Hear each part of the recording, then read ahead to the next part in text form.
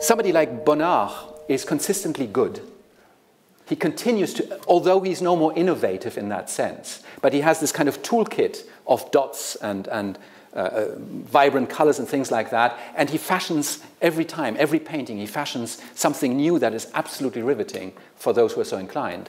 Um, uh, Gauguin is the same case. And then most of the other people of that same generation, they are, they're nothing. They just have one moment, one blip. Matthias Waschek, PhD, is the C. Jean and Miles McDonough Director of the Worcester Art Museum. Matthias Waschek, PhD, became director of the Worcester Art Museum in November 2011. Originally from Germany, Dr. Waschek wrote his doctoral thesis on French art theory at the end uh, of the end of the 19th century, which encompasses thinking about the fine and decorative arts, as well as architecture and literature in a globalizing world. This painting by Pierre Bonnard, Dining Room in the Country, is from 1913 and is at the Minneapolis um, uh, Institute of Art.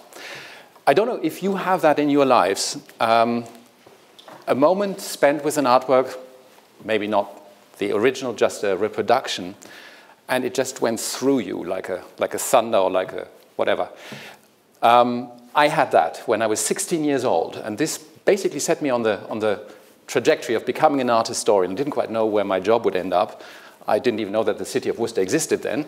I knew that there was a Worcester, but that was more in England. So um, what happened was, and this is in the time which dates me very much, obviously, um, uh, in the time before, we had unlimited access via the internet to visual information. So where did you go? You went to libraries or to bookshops. And so one of the most wonderful moments when I was 16 was when I could sneak from this slightly banal uh, um, uh, suburb of Bonn into the, the center of the city. And I went to this bookstore called Bouvier, and they had this big art section, and I just went browsing.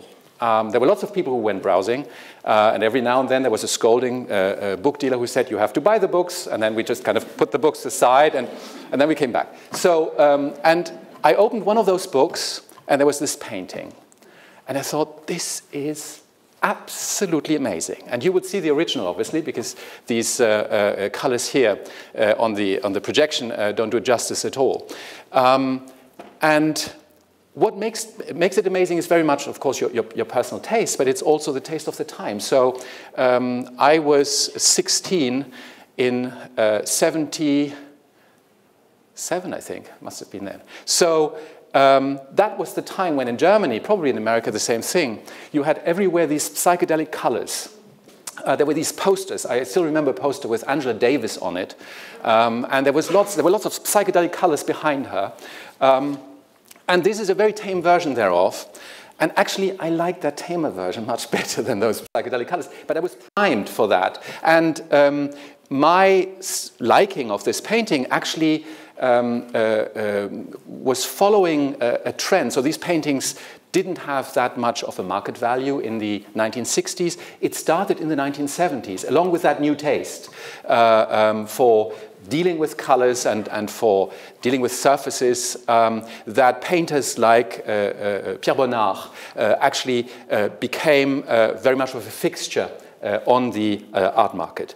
So um, what is so um, interesting about it. I mean, everybody finds their own interest in the painting. So I give you just what I think is interesting, and uh, a lot of other art historians think so, but that's just us. You may find uh, other things. So look at this painting. It's, it's um, uh, very, it's, it's a combination of a lot of forms. So you have, and I hope I can do this this way. Yes.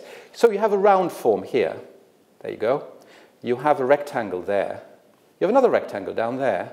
You have a very thin rectangle here, more rectangles, and then you have amorphous forms. So these, all these forms are together um, on that square of the rectangle, the big rectangle uh, of, uh, of that painting.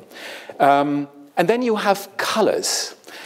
And it's the most, most outrageous color combinations uh, that, apart from this psychedelic style uh, that was so much in fashion in the 70s, um, that you can imagine. I mean, look at, uh, for instance, at the, the wall under the window, there are two reds. There is a, a, an orangey red, and then there's a crimson red.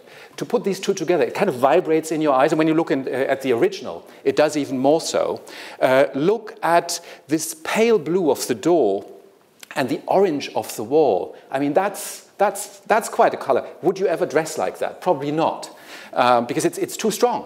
Um, uh, look at all this, this, this tickling uh, of the eye that happens in the background, all these dots. Uh, there is, uh, uh, there are some, some uh, pink dots and, and so on and so forth. Let's go into further detail.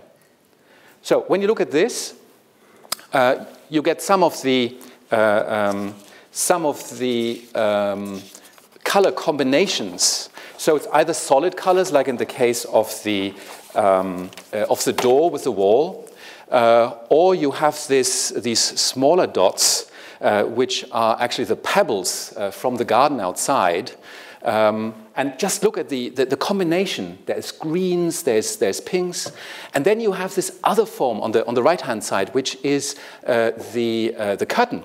Um, and it looks like um, almost like cutout shapes uh, that, are, that are kind of coming down from, uh, from the top. Um, so um, these, this painting, and this is, this is, going to be the point of what I'm going to uh, walk you through, is basically uh, the summing up of what happened 20 years before in cutting edge French painting. So around 18. Um, at that same time, however, um, it's, it's, it's, already quite conservative uh, for that time, 1913. Uh, At that same time, you have people like Matisse, Picasso, Mondrian, Malevich, who are going already to far different chapters. You have Cubism, uh, you have Fauvism, um, Mondrian, you remember these, these paintings with horizontals and verticals, Malevich, who, who just says the sun is dead, color is dead, just a big black cross. Um, so that's pretty tame, it's pretty bourgeois actually. Um, and the, the, the, the, the people who bought this kind of art were pretty bourgeois at the time, and the bourgeois side in, my, in me loves that dearly. So, um,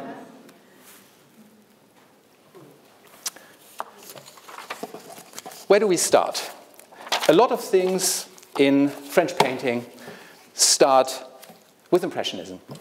And um, what uh, fascinated people so much about Impressionism was that the technique, um, which was very much possible due to the availability of colors in tubes, um, was no more in these layers with varnish, but it was just directly slab on that canvas.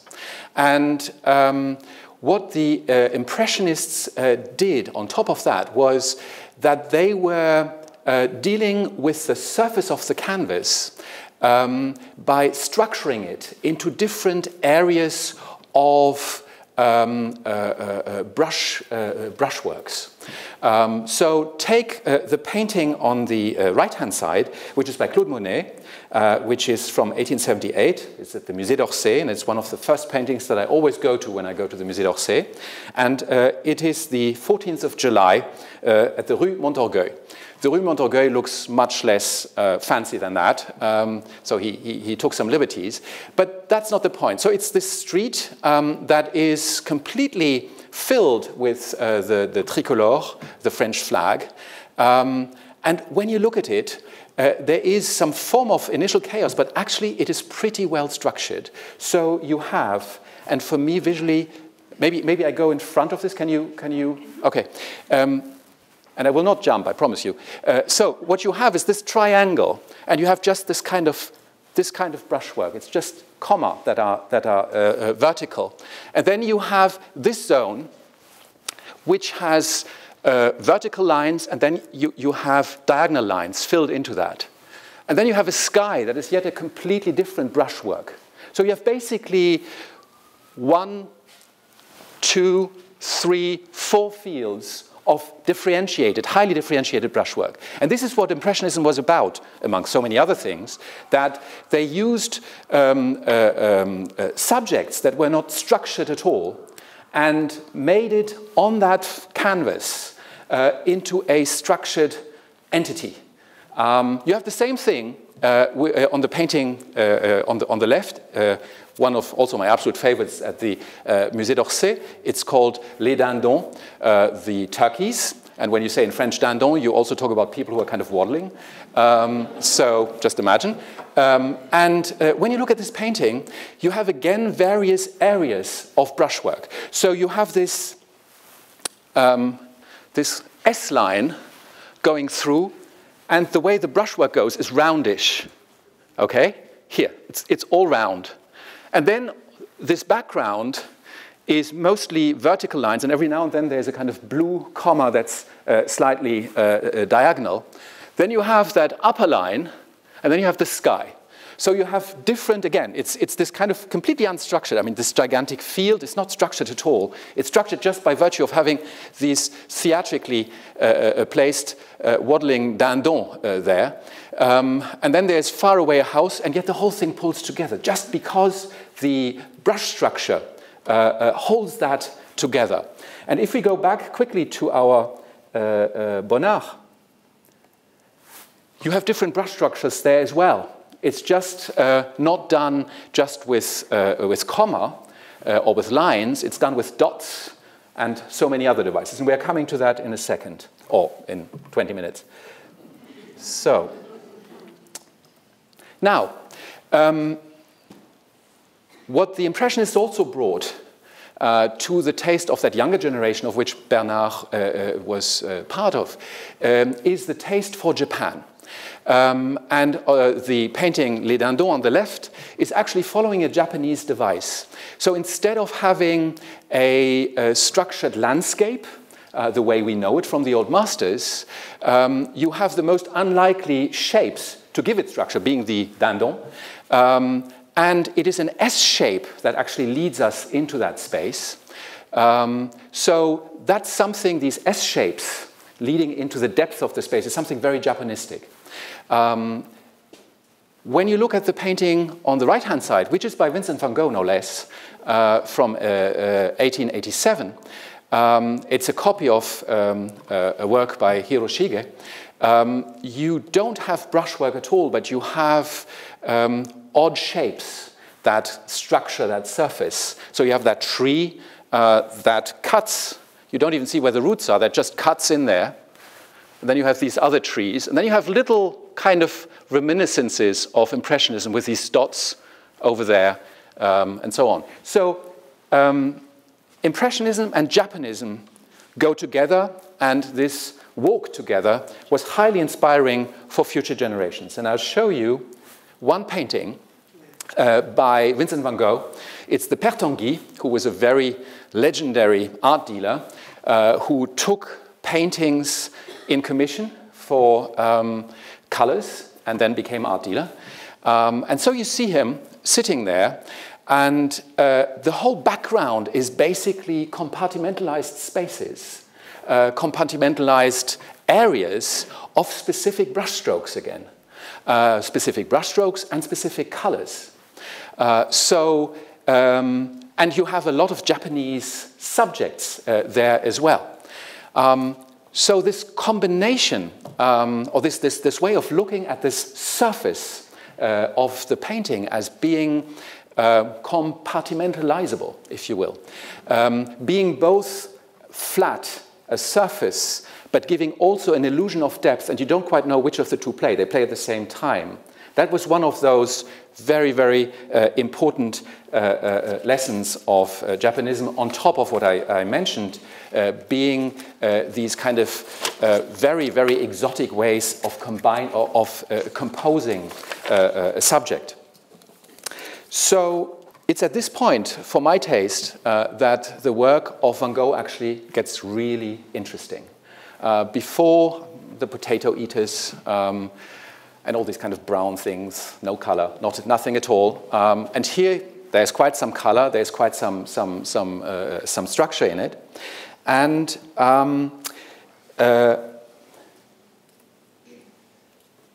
when you now look at the, um, the Bonnard painting, um, and you just bear in mind this idea of compartmentalization of that surface, you have exactly that. When you bear in mind this idea of giving uh, an illusion of depth and yet taking it away at the same time, you have it exactly in that, uh, in that Bonnard painting. Um, so there's definitely uh, an important connection.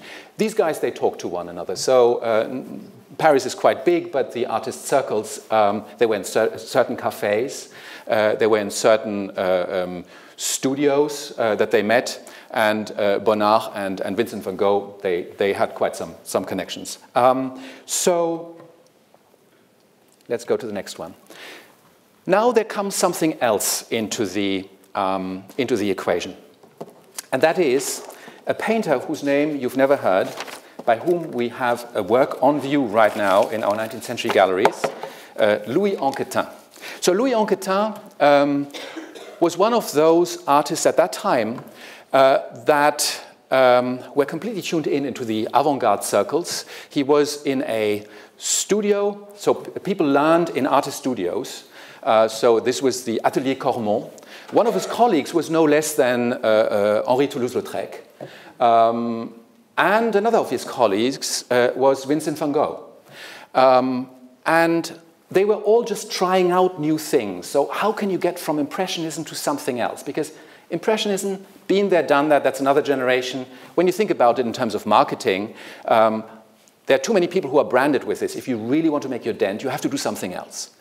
The American Impressionists, they came much later, so they didn't have that weight on them. But these people in, in Paris, uh, had that. And it's this also uh, extremely individualistic climate where you really have to put your stake in the ground and say, hey, that's me. I'm very different from all the others. So they came basically every day with a new manifesto um, of um, a new way, a new technique of making art. And so in 1888, um, Louis Anquetin uh, had a show uh, in one of those uh, uh highly prestigious among avant-garde people uh, circles in Brussels uh, Les Vingt. And um, there was, so you have to have an exhibition and you have to have a journalist who speaks about you.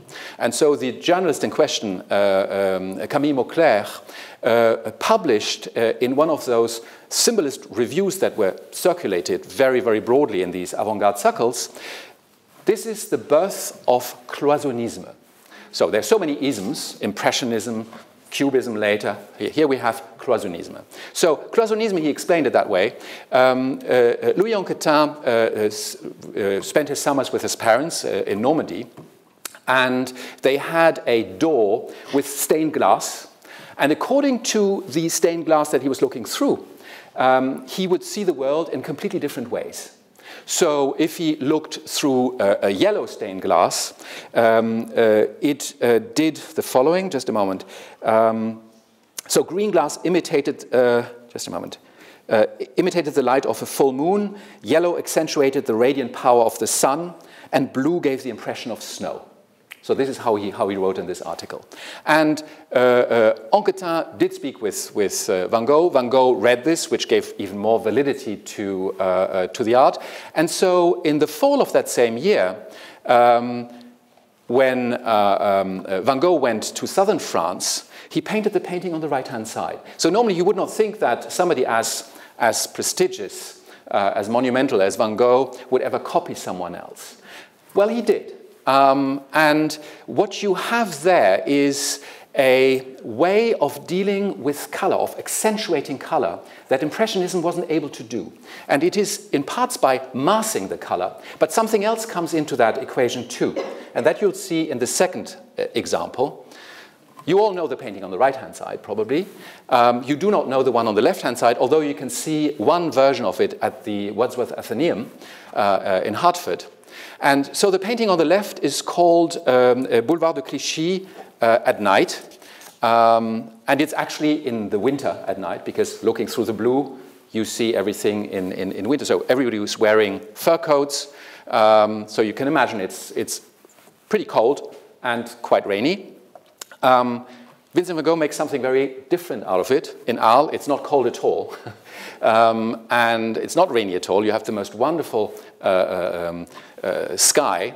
Um, and what sets both uh, what both also have in common is that um, in addition to this omnipresent blue, uh, you have something extremely warm, and it, it rarely comes across as so warm only because of this massing of all this blue and all this yellow and orange. It's just via this contrast that the orange and the yellow um, are glowing. And this is a glow that the Impressionists never got into their paintings, actually. And this is a glow that Bonnard was interested in, and that all these new artists uh, uh, around him uh, were very uh, interested in. So, next chapter. Here we are in 1888. Uh, so, the, the, the painting uh, on, the, on the right is um, in the fall of 1888, and the painting on the left, as the predecessor, the, the, previous one, is um, uh, uh, equally uh, from the summer of 1888. So there's just some months between these two paintings. Um, so that same year, um, another group of artists, uh, again, all related in Paris, all frequenting the same uh, cafes, all meeting the Père Tanguy, giving some artworks uh, in exchange for color. So there was a group of painters who, in the summer, fled to Brittany there were lots of reasons why they uh, left for Brittany. Firstly, Brittany was damn cheap. Secondly, um, there was this mystique um, for people, for city dwellers, that in the countryside, particularly the unspoiled countryside, you would not encounter any traces of industrialism. So there was also some escapist uh, part to it. So the painting on the left-hand side is uh, by uh, Paul Gauguin, um, and he painted that uh, in the summer of that year. And what you see there is, well, our Japonistic tree that goes straight across the painting. Uh, you see some remnants of Impressionist uh, brushwork, but not that much. And you see this glow of the red coming from the, from the background. So Gauguin, who studied with Camille Pissarro uh, uh, in the Impressionist mode, completely broke away from that um, when he was at that moment in uh, Brittany. And he knew about the paintings by uh, Louis Anquetin, um, probably because he met Anquetin himself, but another person who would have been the go-between was a colleague of Anquetin's in the Atelier Cormon, a certain Émile Bernard, who was the main person in my, my, my, my PhD. And so uh, people were talking about this bizarre Paul Gauguin, who was a, a, a, stock exchange person who had given everything up, started as a dilettante in Impressionist painting and then turned into a very poor uh, uh, but very charismatic uh, uh full-time uh, artist. And so there was a gentleman from another artist's studio, the Atelier Julian, um, who also went to Brittany, following the mystique and going where life is cheap. And so uh, he knocked at the door of um, Gauguin and said, teach me, teach me your method. Um, so Paul uh, it's Paul Sérusier uh, who did this. And according to the myth, um, Gauguin told him to sit in front of the uh, Pont d'Amour, um, the Lake of Love uh, in Brittany, uh, and um, put a, uh, asked him to paint what he saw. And this poor Sérusier, of course, you only see what you no. So to paint what you see, just switching off your brain is impossible. But there's a good way of switching off your brain, according to that myth at least. So uh, Gauguin, uh, who was uh, um, uh, very much in love with arms, put one of the guns to his head and said, if you don't paint what you see, I kill you. so apparently it worked. So um, what you see there is this, uh, this um, painting. It's, it's, it's, done on the back of a cigar box. It's very small. Um, and uh, you have these glowing colors coming out. It's, it's, it's a very modest format, uh, but all these glowing colors just by contrast and by massing of colors. Um, and he was so proud of this, and he took that back to Paris to his co-students at the Atelier Julian. And here you have, uh, from a much later time, uh, a group painting of these artists. And um, one of them, so first of all, uh, Pierre Bonnard is the second from the right. Okay? So that's the way the man looked, at least at that time, uh, in 1901. Uh, then you have um, a, a, person who is uh, slightly behind the easel, And that is Maurice Denis, one of these members of that group. And he wrote uh, in um, 1891 yet another of those manifestos. So manifesto after manifesto. His manifesto was Le Manifeste du Néotraditionalisme. And that word was just taken from somewhere to, to say something important. But the sentence that he writes in this uh, manifesto is very interesting. And I'm going to translate this, although I memorized it in French, I'm tra translating this in, in, uh, into English. We always have to remember that a painting, before it is rep representing a still life, um, a female nude, or uh, an anecdote, is first of all a flat surface with lines and colors arranged in a certain order. So it's very formalistic. So the way I introduced this talk with this formalistic uh, uh, description of the painting, this is exactly what these guys were after. When you look at that painting, it's, it's, uh, um, you can very easily uh, uh, look at it in a formalistic way. You have this black mass in the center uh, with little, little openings to the, to the bottom and little openings uh, to the top. Uh, you have some color contrasts that are just uh, an idea of, of glowing, like this pink in the inside of the, of the window on the, on the, on the left. Um, and then you have, like in the, uh, uh, the wonderful painting by Vincent van Gogh that I just showed you with the Père Tanguy, you have lots of paintings quoted in there. So different surfaces, again, treated in, in, in different uh, ways. Uh, so um, we made a journey now um, uh, looking after, after Impressionism, Japonism, uh, looking at um, the introduction of the glowing color. Look at the glowing beard uh, of the gentleman, uh, the second from the, from the left, that's Paul Ranson. Uh, then another person whose name you may have heard is Ambroise Vollard, uh, who's the man who's hiding behind the easel at the very top. Ambroise Vollard was the first dealer of uh, Picasso, uh, and he was uh, the one who uh, introduced Paul Cézanne to the market and all these people. So let's go to the next one. So back to our painting. Now after our trajectory, I hope you see the glow. Um, um, you do see the compartmentalization.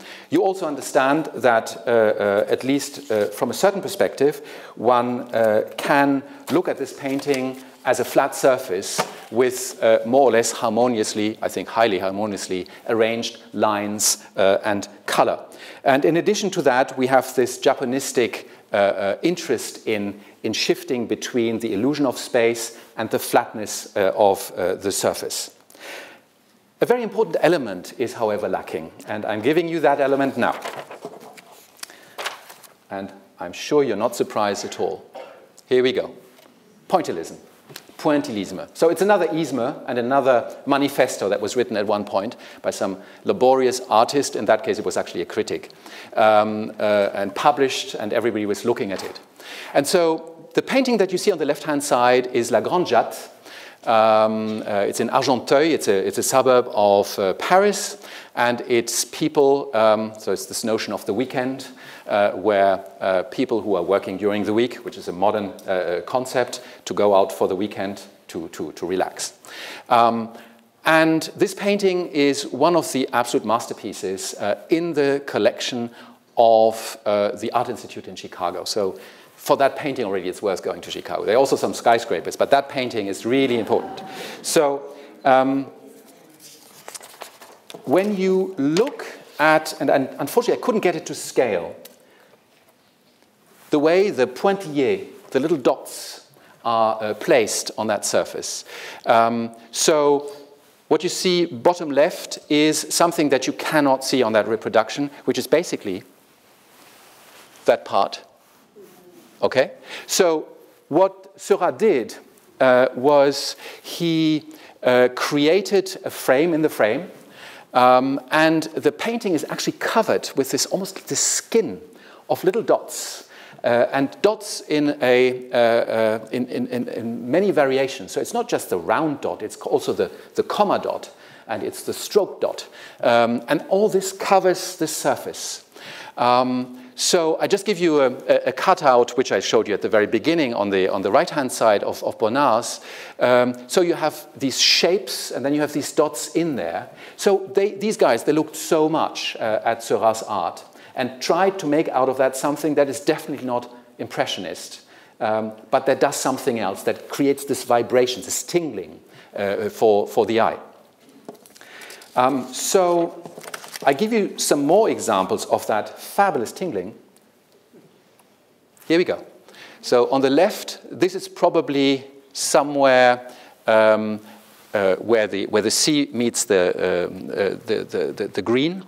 Um, and on the right-hand side, you see a similar pointillé, um, which is basically the pebbles uh, in, the, in the Bonnard painting. Um, so when you get close to that painting in, in Chicago, you just see everywhere completely different patterns, not only of, of, of dots, sizes and so on, but you also see different color combinations. And one of the most alluring ones is actually here. And I don't know whether it comes across on the, uh, um, uh, on, on, the reproduction, but um, you have this pink together with green. I mean, that's outrageous. I don't know that many people who would combine that again in clothes. Um, but you get this glow and you get this tingling uh, uh, for, for, for, your eyes. It's, it's an absolute feast uh, for the eye uh, that uh, is uh, creating there. To rinse your palettes, we just go back to, to our, our dear Bonnard.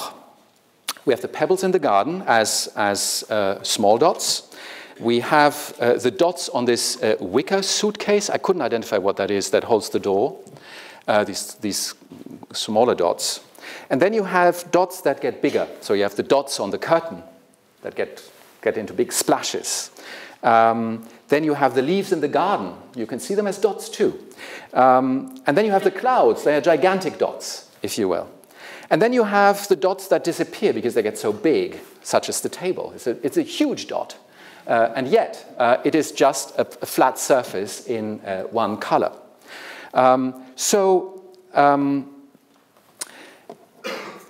placed in our holdings of uh, 19th century uh, art, uh, we are actually incredibly fortunate because we have all the key works that back this painting up, that make that journey that I just did with you via uh, paintings, no less than the Musée d'Orsay. I wish we had it, but we don't.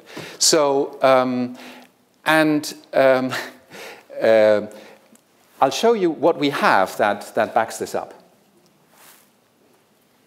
So this is our, it's a late uh, uh, Monet. Uh, it's Waterloo Bridge.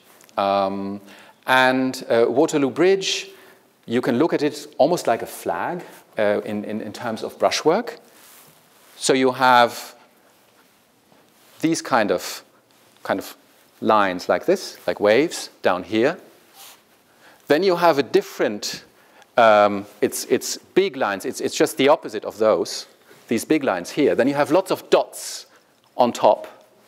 And then you have verticals and horizontals. And then at the very top, you have just little, little swirls. But again, it is a highly contained. So the subject, um, London Bridge, I mean, London, as we all know, has lots of smog, lots of fog. Uh, so uh, uh, all shapes disappear. So how do you capture this? Well, you capture that by having a highly compartmentalized way of, of brushwork.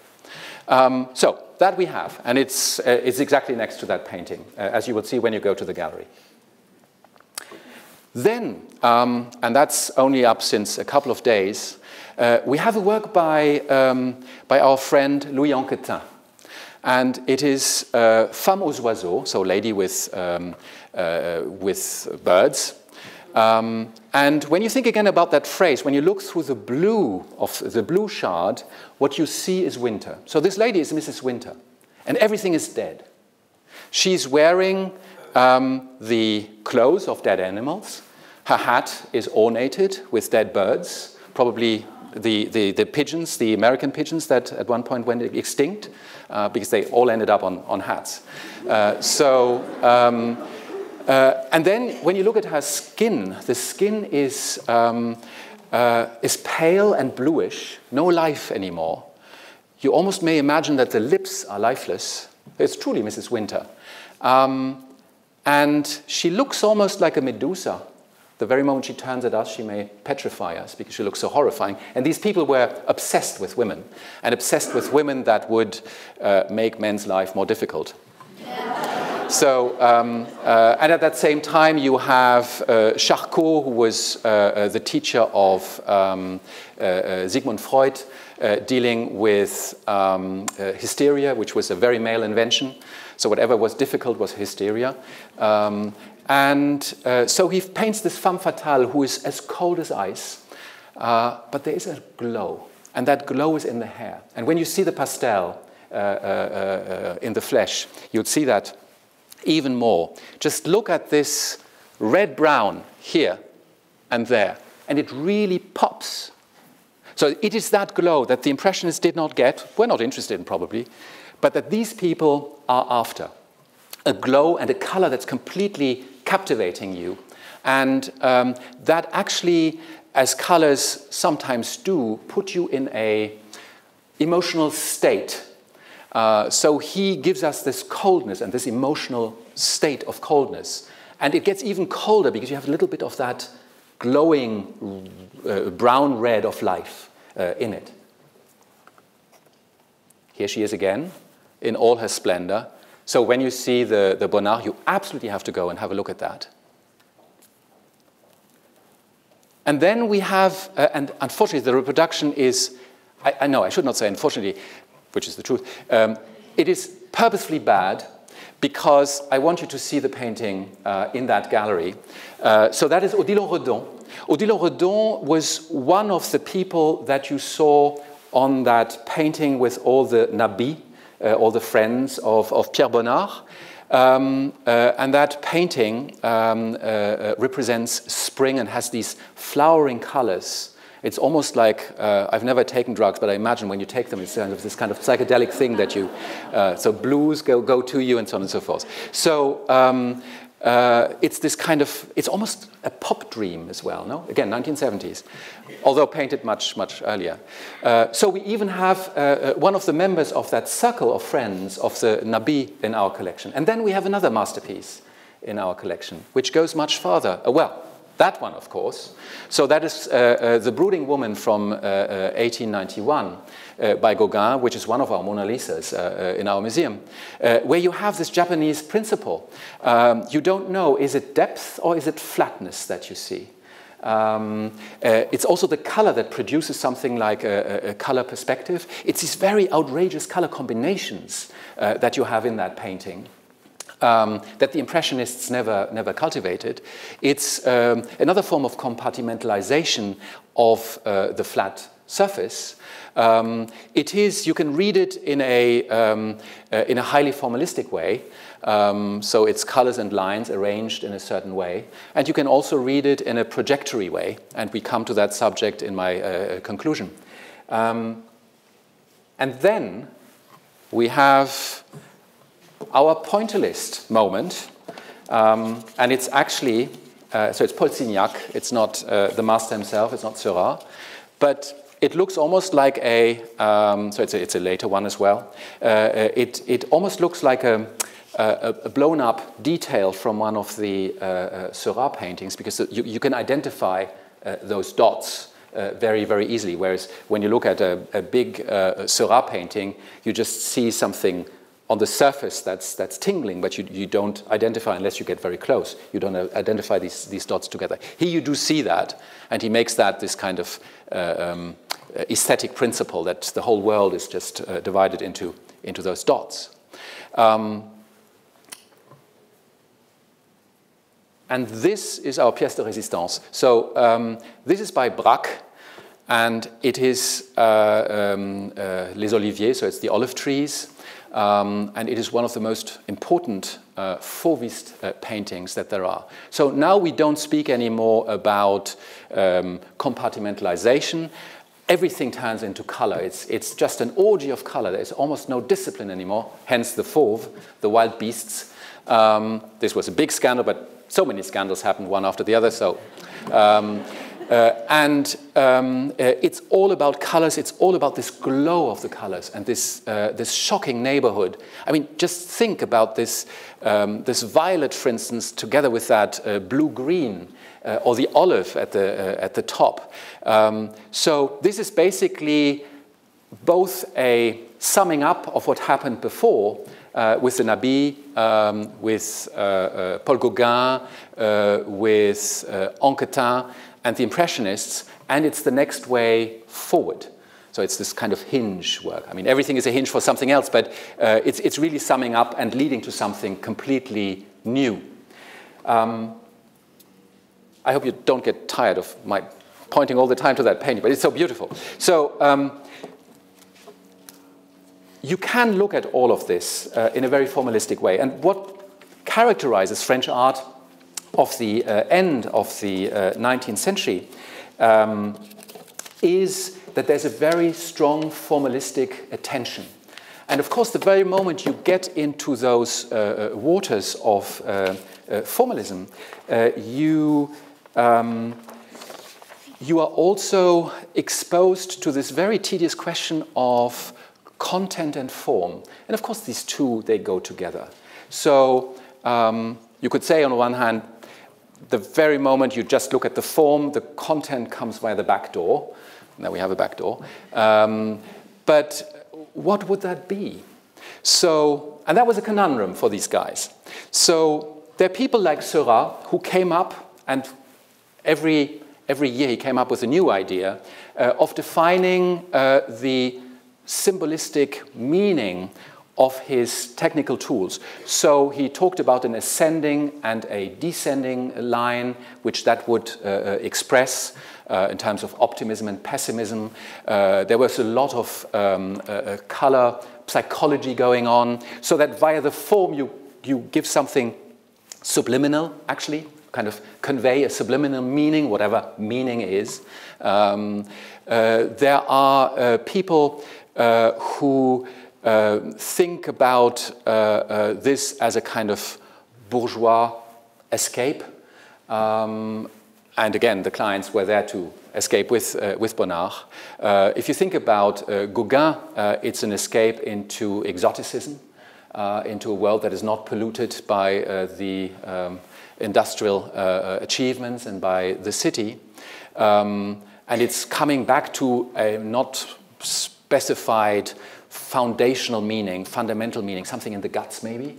Um, I think ultimately it boils down to if that painting, at least for me, um, if that painting touches me and I don't think about it then anymore in formal uh, ways or in content ways, there is something that touches me. And what I hope to do with this uh, uh short presentation is to give you some tools to look at painting of the end of the 19th century. Um, and if I was successful, that painting touches you a little bit as well um, and makes you enjoy the Art Museum a little bit more and makes you want to go to the gallery where this, uh, this painting is, along with the Monet, uh, along with the Odilon Redon, uh, uh, and along with all the other companions. And you'll realize we have a mighty fine collection. Thank you very much. didn't mention the term expressionism. Is that not a legitimate term? Expressionism, that comes later. So uh, that's, that's uh, my, my, my, German fellow countryman. Uh, it's legitimate in the sense that one critic at one point said this is expressionism, in the same way that somebody at one point said this is impressionism. So all these isms, it's, it's really fascinating. So you have all these isms together with, in politics, Marxism, socialism, and all this. So you have all these ideologies um, and the artists tried to, to, to follow this kind of ideology, this manifesto uh, uh, uh, thing, um, probably because they thought by having a manifesto of themselves, they could make a dent. Uh, they could attract people who would buy their art. Looking at the door with the reflection on the glass and how that touches you, whereas all these dots of stylization throughout the picture, do you think Bonnard was worried with that reflection on the window, or how do you interpret that? um, it's always difficult because we all project, um, talking about projections, but we all project. So um, I can't really tell you what Bonnard thought about this, but I think what is always productive, and that's why I always love to look with lots of people at a painting, when we all say what we see and what strikes us the most, and then just figure out um, could that make sense in a bigger interpretation? But in this case, I can't help you. Um, but this is not the problem. I think um, you should just look at the painting. Maybe when we have time, I look at it with you, and, and we try to see how it fits in for us. But the whole thing is so much about uh, a subjective perception. It's about that. So there is no such thing as, as objectivity. I mean, um, when you take old master paintings, of course, you also have subjectivity, but the question is is the subject done in an innovative way or things like that? In this case, I mean, this is the subject is a pretext for something else. It's a pretext to get you in, in, a, in a kind of subliminal way. Um, and if they're good, they get you, and if they're bad, it's just lousy. So, and there are lots of, and the, the interesting thing is, I mean, uh, um, time always takes a lot of uh, bad art production uh, off the shelf, but um, the, what is fascinating in that time is you have a lot of people who are extremely mediocre, extremely mediocre, and even um, uh, uh, Louis Anquetin, for instance, he had this nanosecond where he was great, and all the rest is absolutely rubbish. It is so bad. So he, he tried to resurrect Rubens. And when you look at these paintings, you think, what was on his mind? Um, uh, Émile Bernard, uh, the, the, the, the, gentleman whom I, I uh, mentioned, who was uh, very important for, for Paul Gauguin, he also had just a nanosecond. And then thereafter, he went into complete, because there was nothing, he, he couldn't create anymore. And so somebody like Bonnard is consistently good he continues to, although he's no more innovative in that sense, but he has this kind of toolkit of dots and, and uh, uh, vibrant colors and things like that. And he fashions every time, every painting, he fashions something new that is absolutely riveting for those who are so inclined. Um, uh, Gauguin is the same case. And then most of the other people of that same generation, they are, they're nothing. They just have one moment, one blip. Thank you, Matthias. Okay, thank within this drama and the action and the uh, uh, scene of the flagellation, this sitting back and observing uh, the image of the uh, man of sorrows, the king with a crown of thorns.